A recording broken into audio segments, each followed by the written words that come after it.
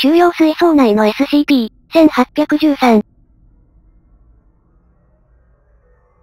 アイテム番号、SCP-1813。オブジェクトクラス、セーフ。特別収容プロトコル、SCP-1813 はサイト、18の生物学セクターに位置する、強化ガラス製の20万リットル水槽に収容されます。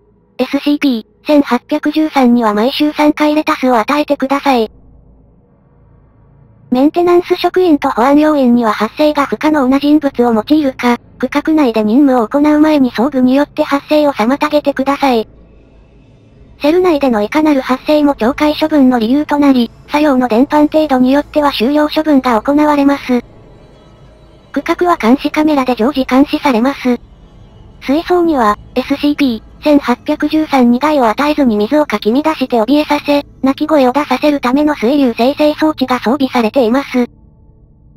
この装置はサイト管理者の承認を得た実験目的でのみ使用することができます。実験後のレタス給事量は2倍にしてください。実験の有無に関わらず、SCP-1813 はノイズキャンセリングヘッドギアを装備した海洋生物学者によって、少なくとも1日に8時間監督されるべきです。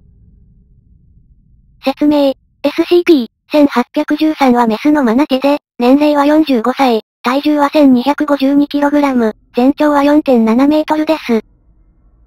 SCP-1813 はフロリダ州アポロ、ビーチにおいて、ヒルズボロ湾岸の電気設備近くの運河から回収されました。SCP-1813 は生理学、行動学的に通常のマナティと同等です。scp 1813の鳴き声は、それが実際に発せられる瞬間の前後4、5分にわたって聞き取れる状態にあります。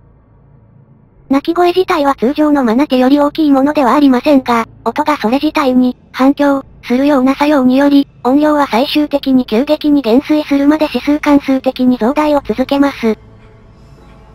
音が生成する波動作用により、周辺空間にはわずかな視覚的歪みが引き起こされます。SCP 1813が泣いている間、領域内にいる生きた被験体は半透明で実体のない1から8体の地震の複製を観測可能です。複製体は被験体が通過したか通過するであろう空間を通って移動し、最終的には何ら有害作用なしに元の被験者の現在位置に融合します。しかし暴露時間の延長は複製体に対し、被験体が通過しなかったか通過しないであろう経路を移動するという際を引き起こす原因となるようです。それ以上の長時間の暴露実験は、元の被験体が予測不能な特性を示し、独自の分類が必要な事態を引き起こす傾向があるために推奨されません。この作用は、被験者を SCP-1813 の録音に暴露した場合には発生しません。視覚的歪みは生きた被験体や無生物の素材に有害なものではありません。SCP 1813は、泣いている間に自身の物理的複製を生成しているようには思われません。複製体が単に存在しないのか、SCP-1813 と重なっていて見えていないだけなのかは不明です。ほい、実験後の転写実験の間、被験者は SCP 1813への暴露中に特定のフレーズを繰り返すよう指示されました。これは、被験者が効果範囲内で発生した際に SCP-1813 と同様の非同期的発生が現れるかどうかを確認するためです。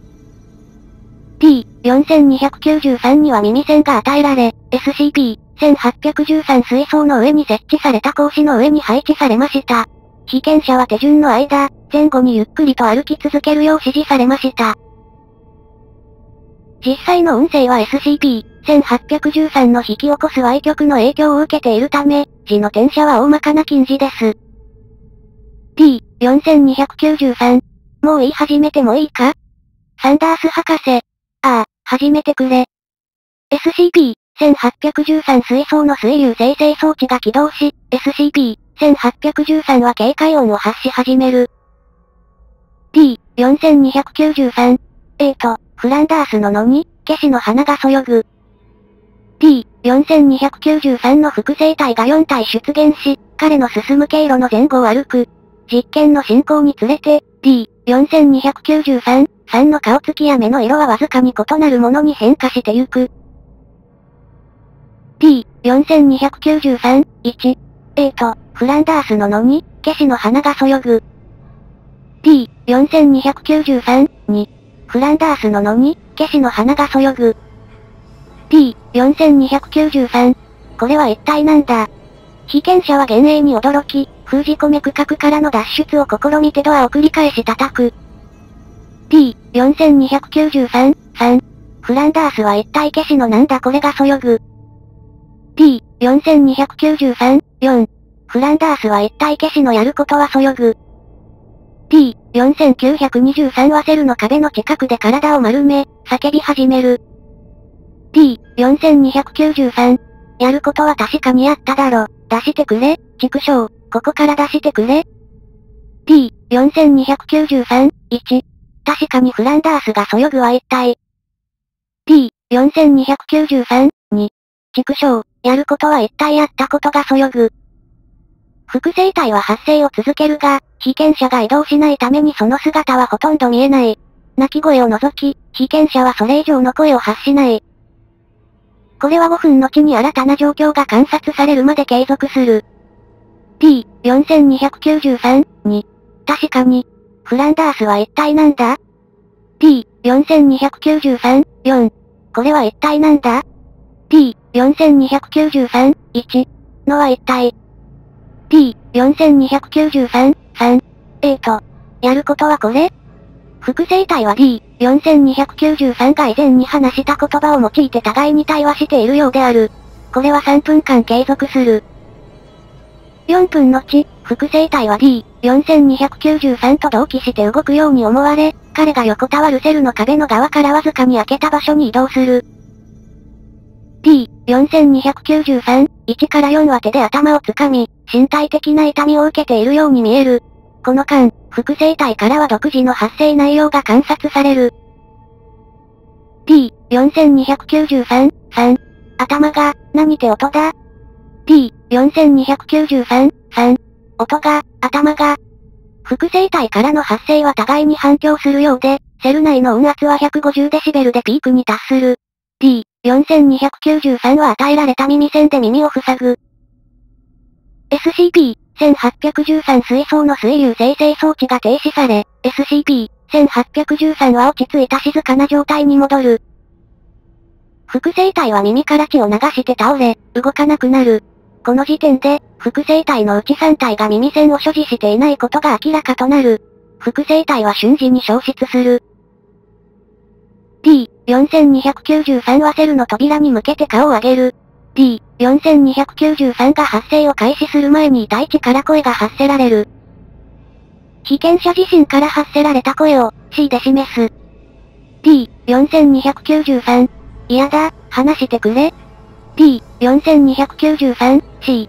一体何なんだ ?T、4293。ハッピーバースデー、ハニー。サンダース博士。実験を終了する。セルから退出してくれ。T、4293。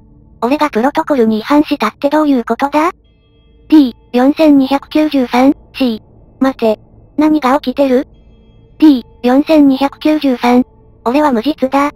T、4293。ロボットが欲しい。T、4293。それは俺を解放してくれるっていうことか ?T、4293は応答を始める。彼は人力でセルから連れ出される。T、4293が示すこの得意な音響作用は、彼が終了された5時間後まで継続した。研究メモ。音響実験後、SCP-1813 の作用は物理的な残響に似た面もあるが、複製体の行動が分岐する理由については完全に理解されていない。この時点で明らかになったのは、複製体は彼らが未だ言っていないことだけでなく、言わないであろうこと、言わなかったであろうことすらも言うということだ。SCP-1813 チャンバー内で白のラットに複雑な迷路を解かせる実験では、最小数、1、2体の複製体が出現した。ほとんどの場合、迷路内の複製体が選択する経路はオリジナルの被験体外として移動した経路と完全に異なっていた。複製体の体色も様々で、黒や茶色の時もあれば、ある一実体では紫色のこともあった。